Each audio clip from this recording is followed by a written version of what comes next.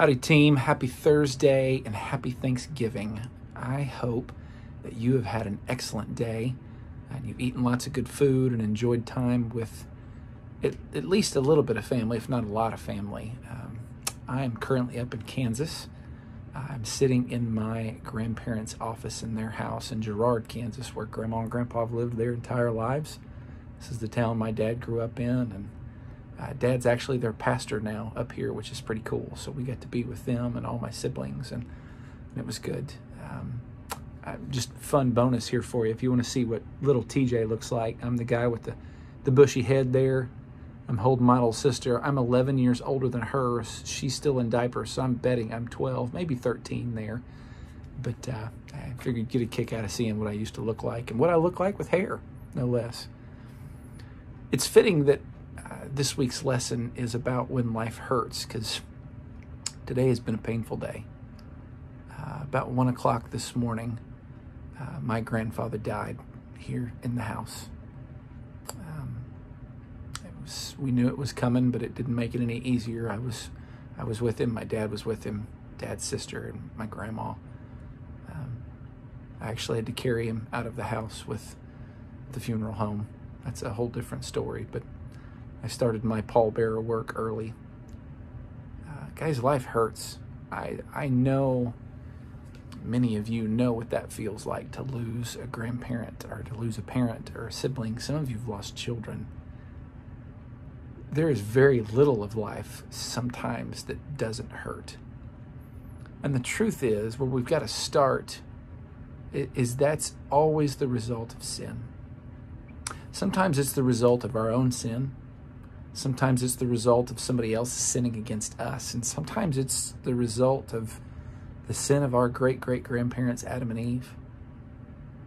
See, God told them back in the beginning, don't, don't disobey. It will cost you. You will die. And they didn't listen. And all throughout the scriptures and all throughout the history of the world, God continues to raise up his hands and say, Don't, don't, don't, don't, don't, don't. And, and we continue to disobey, and things continue to just be painful. It's like we're constantly sticking our hands in a mousetrap and expecting a different result.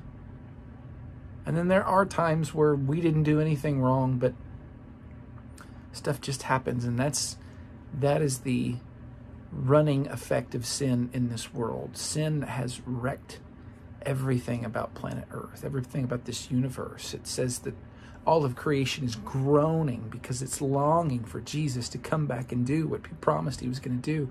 Jesus is going to come back and fix this. And that's the only thing that's going to going to help is Jesus has to fix this because we can't.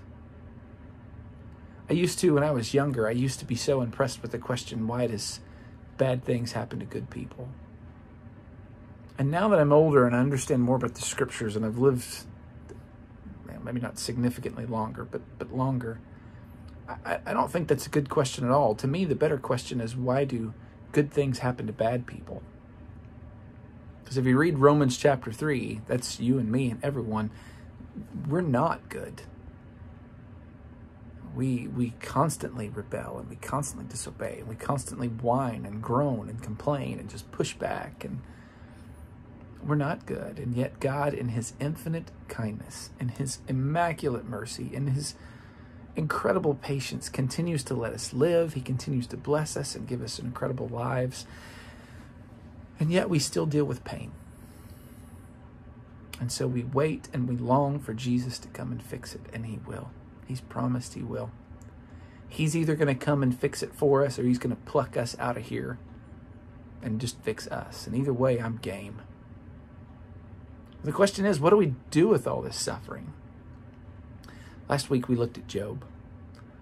The story of Job is fascinating, and, and my favorite part of the whole book, and this might sound funny, is chapter 3 when Job's friends show up and it says they sit with him for a week and they don't say anything. They're just with him. That was the best and really only good move any of his friends made. See, part of the beauty of the church, part of the beauty of the family, this is exactly what my family's been doing. The reason why we congregated wasn't just for Thanksgiving. We knew that Grandpa was going to be saying goodbye. Was we know that we need each other, especially when life hurts. We need God's grace, and praise God, He gives it freely. We need His presence, and He gives that freely. But one of His graces He's given to us is physical family members, and then the next step He's taken for us is He's given us spiritual family members, the church. He has given us the privilege of intersecting with one another's lives and helping out when life hurts. Not if, but when. And so I pray this Sunday, by all means, go through the material. And there's good stuff and there's excellent questions, and the passages are obviously perfect. But I hope that you'll take some time this week as a connection group, committing to one another to stand in the gap for each other, not only in your prayers and not only in your encouragement, but when life hurts, look each other in the eyes and say, I'm going to be here for you. And some of you already do that so, so well. That's a given because you've been doing it for years, but continue to make that commitment to one another. And for the f- new folks that have joined us, welcome and say, this is part of being not only part of the family of God, but this is what it means to be a part of the Lake Church family of God. We care for one another because life is messy and life is painful, and Jesus is good, and He has given us the privilege and the opportunity and the power to care for one another. So let's do that. Guys, I love y'all. I'm excited to see you on Sunday. We'll be home uh, here soon. And uh, uh, again, happy Turkey Day. Love y'all. Bye.